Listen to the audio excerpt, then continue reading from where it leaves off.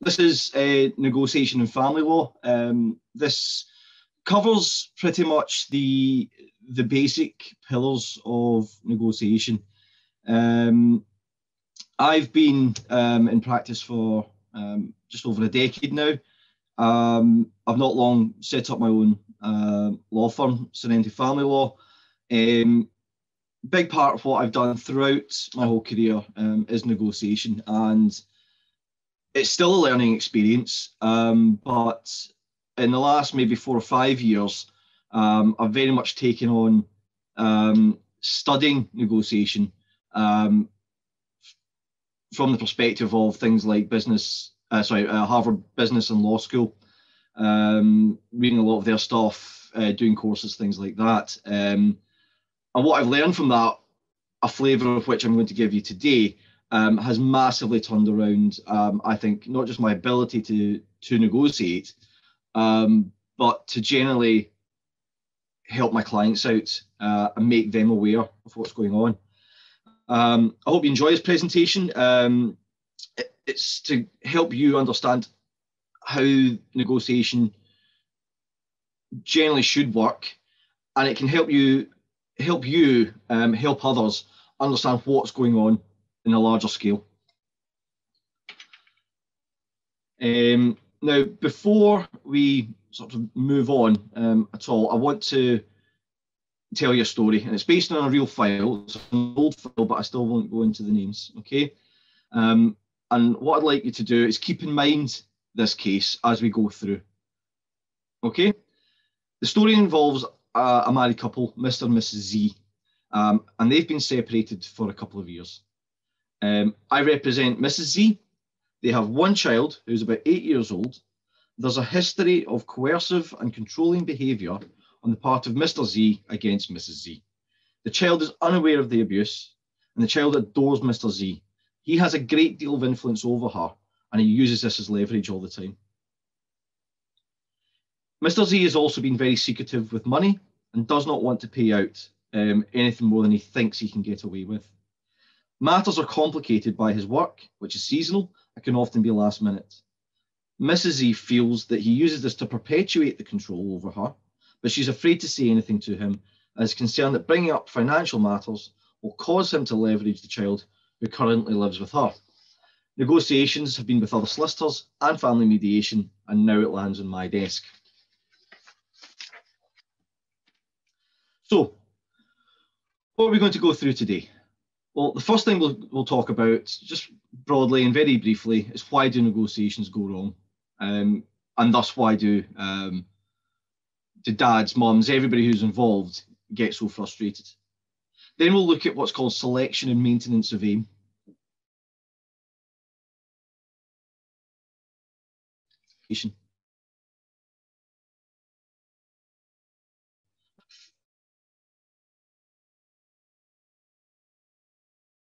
To break up a little, little bit, Kathy.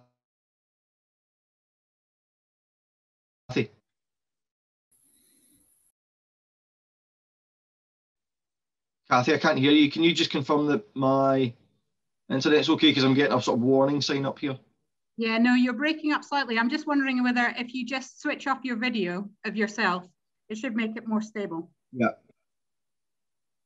And see if you all looking at my face. Right, okay, there you go. I'll message okay. you if you've got any more problems, Michael. Right. Uh, is that a bit better, Kathy? Yep, seems fine. Excellent. Okay, I'll continue. So then we're going to look into what's called game theory. Okay, and this gives a sort of overarching principle. Um, and when you're helping dads get perspective, this is probably one of your main tools. Okay, um, I use this a lot with clients. It's good for their morale. It's good uh, to give them an understanding of why they're doing what they're doing. Finally, some brief hints and tips about how you can help your own neg negotiations. We'll then conclude and um, I'll, I'm happy to take some questions. So, why do negotiations go so wrong? Well, the main one is a lack of communication. This can be bilateral or multilateral. Either side not talking to each other, or even parties on one side not talking to each other. For example, the client and the solicitor. This causes the key component of negotiation, communication, to either break down or not be as effective as it could be. We'll come to lack of aim in a moment, but the main effect of a lack of aim is a lack of understanding about what the negotiation is actually about. Likewise, this leads to a change in aim or objective. The target keeps moving, which does not allow for strategy or tactical development. By the time a strategy is in place, a new strategy has to be worked out. This is because all strategy is led by aim or objective. Likewise, small wins without the overall strategy means that nothing's developing. If it does, then it's pure happenstance. Tactics are a way of achieving strategic aims. They're not a, a, an end in themselves.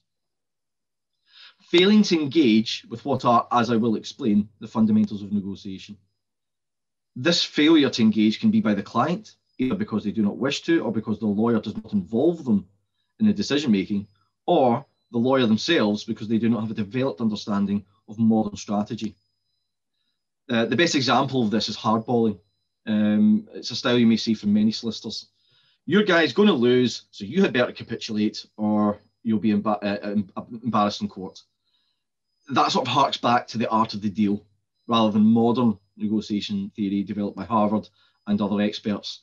Um, frankly, um, I can't stand it, um, and it's it's not productive for anybody. So, selection and maintenance of aim. Um, for anybody here who's got a military background, you'll immediately recognise that phrase. Um, but to understand it, if, if you've never come across it before, let's consider, and I know this sounds a little bit right field, but the war in Afghanistan. Um, a lot of these um, theories were developed from um, Cold War and post Cold War uh, negotiations, but they're applicable um, uh, across the field. So, if you think about Afghanistan, um, what was its purpose? Think what the purpose started off with and what it ended up with. That's what's called mission creep. Now, the problem with that from a family law um, and child law in particular, and negotiation context, is that a fully formed strategy never takes form. Since the aim or objective was never decided from the outset, there is no ability to have a strategic overview of the negotiation. This applies the same in litigation. We'll consider this later in, uh, when we discuss game theory as well. What is it we're trying to do? What can we do? What can be agreed upon? What can't? From a contact perspective, Sorry, excuse me, just taking a drink of water.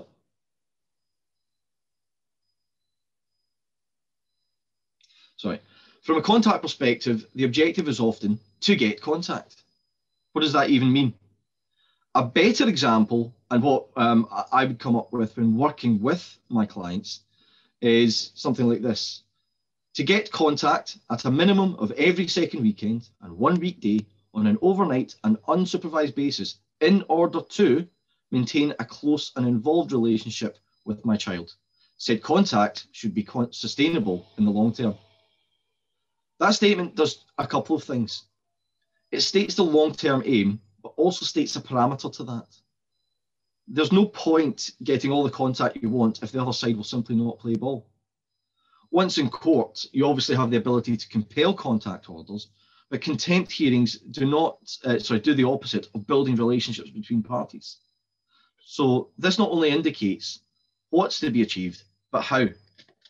And that helps you frame negotiations, something we'll come to in a moment.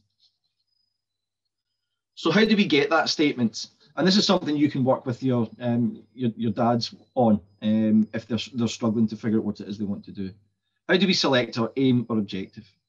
Well, we can utilize SMART objectives.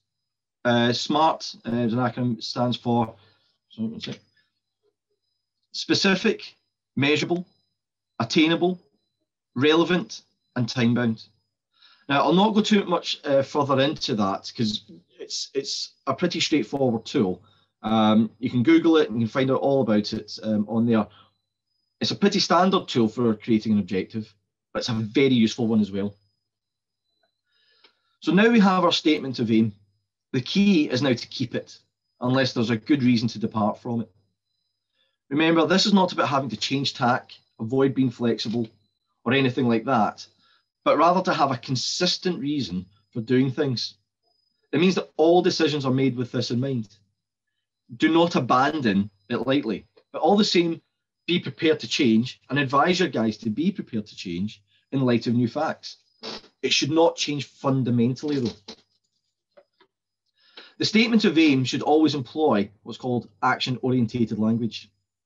If we refer back to that objective, objective statement, statement that I used earlier, there was a specific term, in order to. What that does is it leads to a justification of why you're doing this. And it forces the client, the solicitor, everybody to justify why they are doing the things that they are doing. Honesty at the beginning and with the representative is key. If it is, quote unquote, in order to get back at the X, then this will come out in the fullness of time and it won't work. It's best to be honest right from the off. Something along the lines of, in order to have a closer relationship with my child, is a better option. Also, never use the legal test in order to meet the best interests of the child. It, it means nothing, frankly, from a negotiation perspective, because at the end of the day, the interest of the child is subjective, particularly from a negotiation standpoint. When you get into litigation, that becomes a different matter. But it's so subjective that it means nothing, frankly. Finally, when you're stuck in a rut, refer back to it. It acts as a strategic, tactical, and tactical guide, but it's also a morale booster when things seem far off. So, we're going to come to the first of the pillars of negotiation framing. So, so you, your guy's offered what he thinks is a great deal, but the counterpart doesn't seem to agree. I Don't know why that's speeding up. So, what's the problem? The offer may be excellent, but it's how you've approached the framing negotiation that's holding things back. The concept of framing in negotiation describes the fact that the way that we describe our offers strongly affects how others view them. For example, research by Max Bazerman, Margaret Neale, and Tom Magliozzi found that people tend to resist compromises and then to declare an impasse when those compromises are framed as losses rather than gains. You'll also hear the term optics. Essentially, it's the same thing. It's how you present an offer and knowing how the other side will see it and react to it. The key to that is empathy, which we will deal with later on. However, framing's for, framing is for everyone involved. Solicitors frame to their clients and frame to each other. Uh, you can often tell who a letter is really directed at when you look at its language. Some hints about framing that you can be involved in if you're a party to negotiation in any, any way rather than being the negotiator themselves, is always make it easy for the other side to back down. Don't come barreling in simply because it's justified. Achieving the aim of the objective is more important, and good framing that lets the other side keep face is a key principle. Always control the framing. It's in all the correspondence, it's in all the multilateral meetings, and don't simply say things for the sake of them. In many cases, and I know this is hard for most lawyers to understand, less is more. Look, looking for early on low cost opportunities means using opening gambits to create trusting relationships between all parties. Framing something as, I'm coming after you, is a lot more difficult for good faith negotiations than, I hope we can find an opportunity to work together to find a solution that benefits everybody. That last part is called creating value. Um, it's something I won't go into because it's an entire lecture on its own. Finally, always have a justification for an offer. There has to be a rationale. However, don't be tepid about it. Be clear that this is the offer and why. I'll leave it at that. However, keep in mind that offers, beyond opening gambits, are part of a process that builds up to them. Creating trust through framing helps them be accepted more readily. Put another way, it's like climbing a hill, climbing a mountain. Only once you've reached the peak does that offer go in.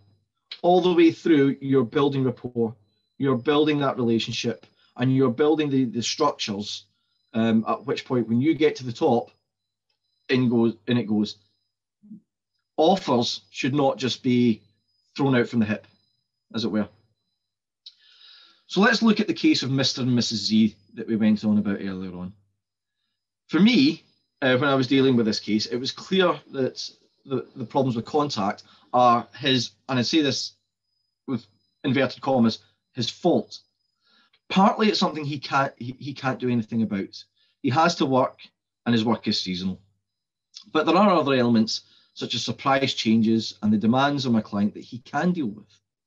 However, he's also incredibly defensive. When under attack, he comes out swinging.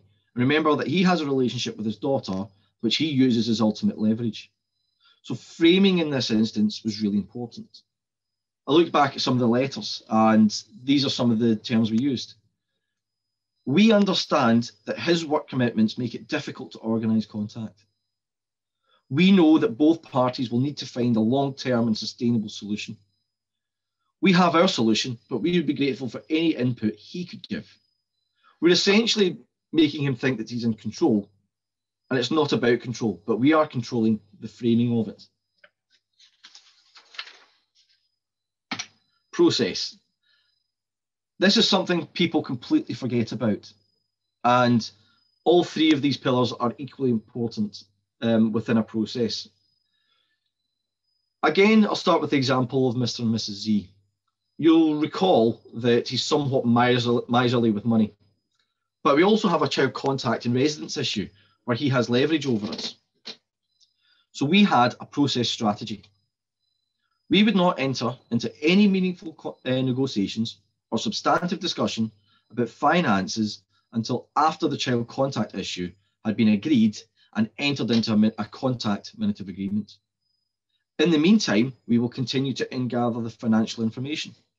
Once all that is in and the agreement for contact is in place, then we will have more leverage to enter into financial discussions freely.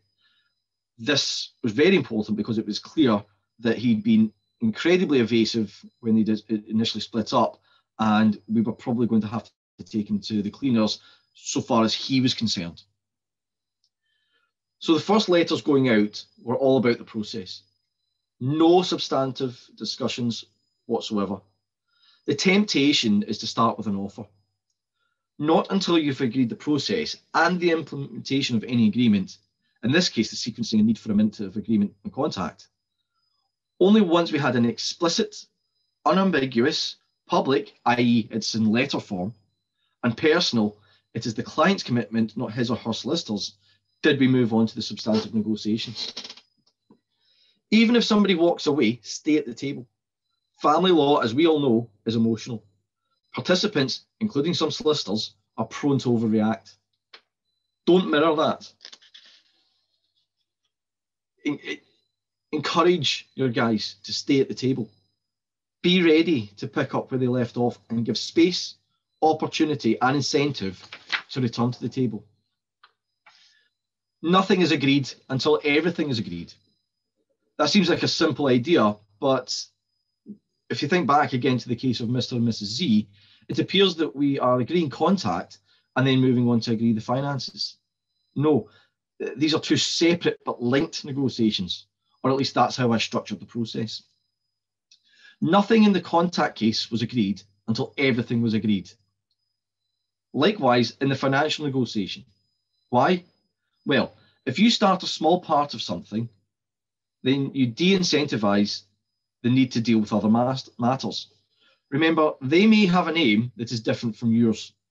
You give them what they need to achieve that uh, to, to achieve their aim early on, then why are they going to stick around for your sake? Slight health warning in this. Although I say nothing is agreed until everything is agreed, there is within family law, there's one major exemption interim agreements to say get contact up and running don't count here. They're part of a process. But nothing is fully agreed, i.e., written down until everything is agreed. And finally, be committed to the process and demonstrate this. Basically, lead by example and stick to the process that you've started. Now, I said all three pillars are equally important.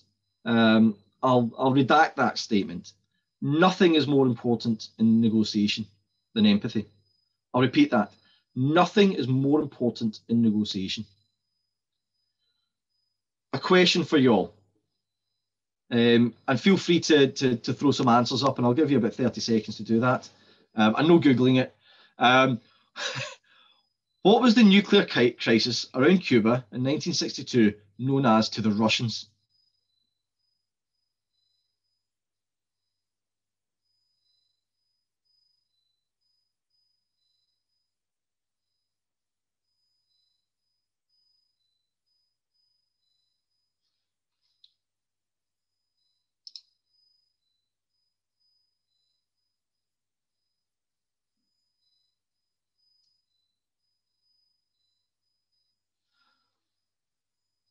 All right, guys. So we all know it as the Cuban Missile Crisis. However, to the Russians, it was called either the Caribbean Crisis or as the October Crisis of 1962. And why was that? Well, it's because their perspective and immediate history were different from that of the US. The US was focused on where the Russian missiles were. Russia was both focused on a more regional issue, and it was also not the only crisis they had around that time. They had plenty. They were potentially in the middle of a coup. Knowing that perspective, if you go and read about the Cuban Missile Crisis, lets you know why the negotiations panned out the way they did. Empathy is not sympathy. And without it, you cannot frame negotiations. You cannot decide what process works best for you, and it is not a weakness. Used properly, it can increase your options. To do it effectively, you have to be open to all explanations for behavior. Now, that can be very difficult. And when you're working with guys, this is something that I would massively encourage is make them switch their thinking to consider all options that, that might explain behavior. Unlike most negotiations in law, business, um, geopolitics, or war, family law lends itself well to one aspect of empathy, the parties actually know each other. However, one of the problems is having to discard your own bias. Either you guys can help with that, or the solicitors have to challenge them on it. Why? Because while you, while knowing the person well, you also have the high emotions that can taint what you think. And again, that is why it's such an important factor. If you get on well with the person on the other side, there's good chance that you don't really need to employ the darker arts of uh, negotiation, do you? However, if they are a nightmare to deal with, then it's all the more important that you empathise, not sympathise, with their point of view. Essentially, it's needed most for those who deserve it least. This can be difficult, even when it comes to things like, you know, yielding to create leverage. For example, letting them think they've won if they're trying to win, and in doing so, your objective is not undermined, then let them win. Let them go on about it. You know your, you know their aim is to win, and yours is to achieve your objective in relation to the kids, or at least that's what you're telling your guys. Let the other side have it. Let them have their wins. It matters not. But I'll come to game theory later on and why people sometimes struggle to make uh, that connection. In order to do all this, though, you need to get into their thinking. Um, often, clients, uh, my clients, are taken aback by the conclusions they come to uh, in a, pro- uh, a, process I use called ICAPS. Uh, now, I can't share that with you in detail because it's commercially sensitive, but the basics of it um, are basically how you analyze the other side. And the basic questions you can ask is what do the other side prioritize? Where do they have flexibility? Where are their red lines?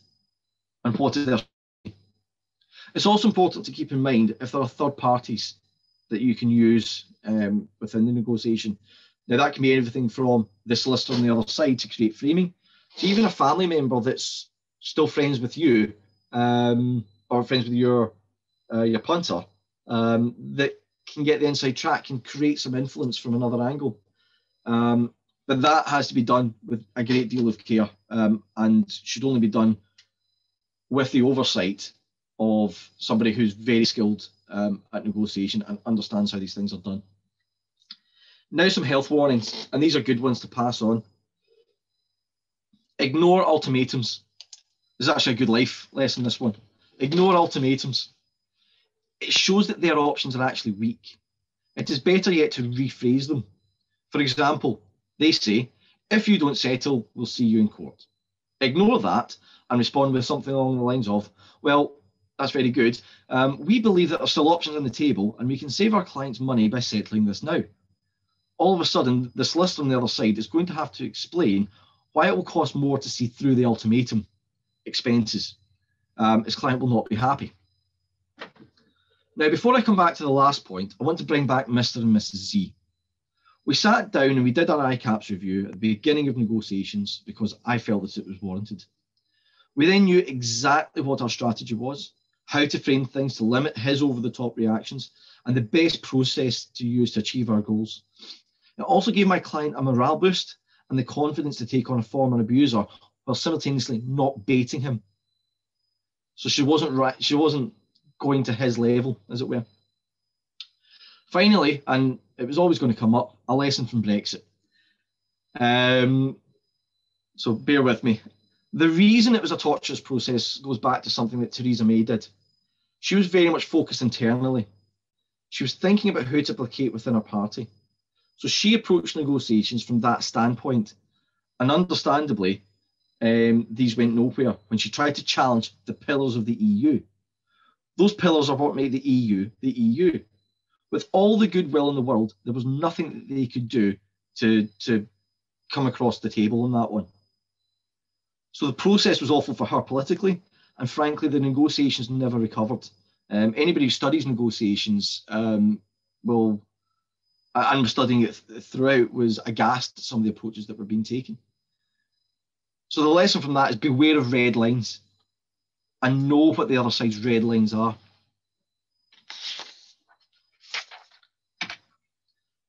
And this brings us to game theory. Now, again, I'm going to come back to Afghanistan. Um, again, just because it's a very, very good example of how it works. So we go back to Afghanistan, and the coalition were trying to win a war against an enemy that lived there, had essentially infinite will, and needed little in the way of the resources because they lived there. It was their homeland. On the flip side, the coalition had to ship in its resources at great expense, with political and public will to stay there increasingly limited and diminishing. So we moved from trying to win to then stabilization and other uh, things that we were trying to do to then simply removing troops. The Taliban didn't win per se, but they achieved their objectives in the same way as the Mujahideen did against the USSR. Essentially, what's happened is they were playing the right game and the coalition was playing the wrong game. So, what game were the, the coalition playing? They were playing a finite game. So, what's a finite game? Finite games have winners and losers. The rules of the game are known to both sides. The boundaries of the playing field are well defined. The scoreboard keeps track of the game's activity. And at the end of a prescribed period of time, a winner is declared. It's neat, it's clean, someone wins and someone loses. When the test for contact cases is, though, that the paramount consideration is the welfare of the child, how does that square with a finite game? When, when you're a parent, when is there a prescribed period and test when you are declared, quote unquote, the winner? The easy assumption when you're involved in a binary negotiation or litigation is that success equals somebody winning at the expense of somebody losing. Now, keep in mind that if you win, somebody's got to lose, and losers are never happy people. Now, let's look at the infinite game. Infinite games have no winners or losers. Rules don't often exist, and if they do, they are fuzzy and open to interpretation. Sounds like parenting to me. The playing field is undefined, and progress is hard to measure. When do we know we're being good parents?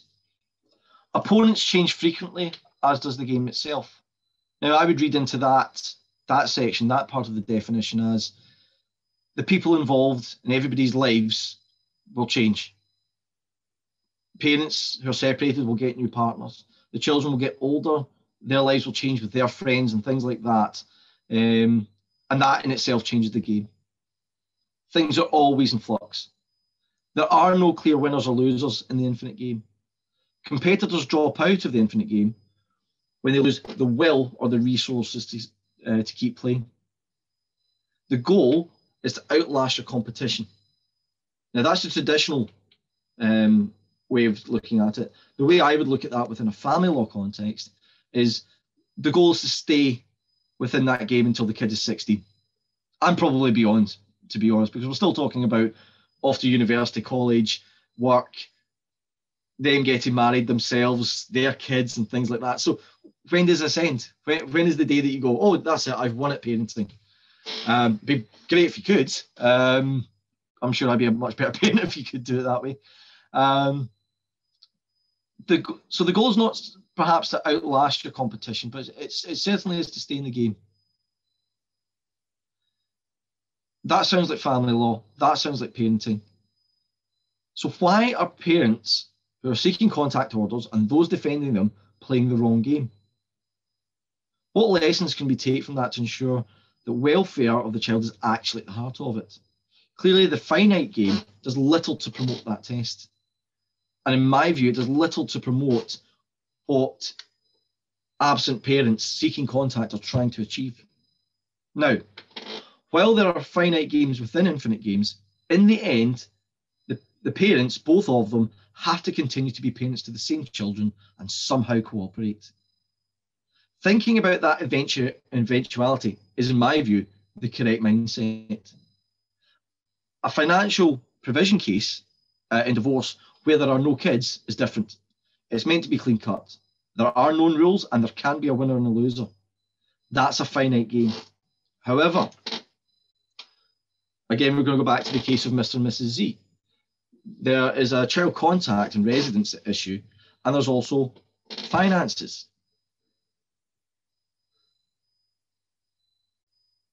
The goodwill in the contact case, once you've come to the agreement, can be soured by the way, the manner in which you conduct the financial negotiation.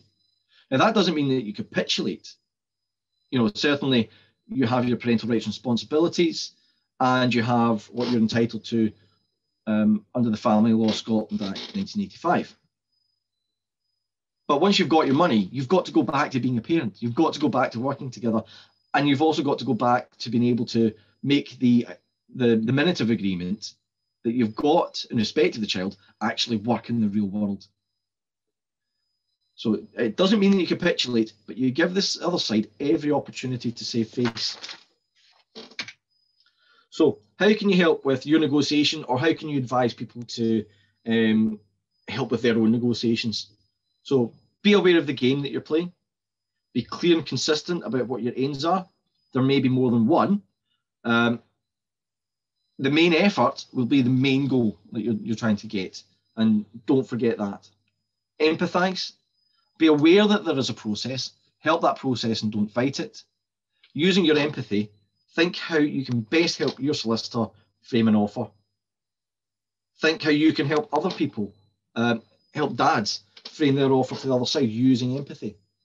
And finally, and this is probably the good advice for you guys to pass on, understand negotiations are difficult. I've been doing this for 10 years and I'm still learning all the time. I'm still getting better. I'm still improving and I'll probably never be there. But you can make it easier. And the key to that is being patient. So, what, we, what should you be taking away from this? That there's a game to be played, understand that game, having an objective and keeping it, empathizing with the other side is absolutely key. Frame everything continually, consider the best process and commit to it, and have patience and focus on the big picture.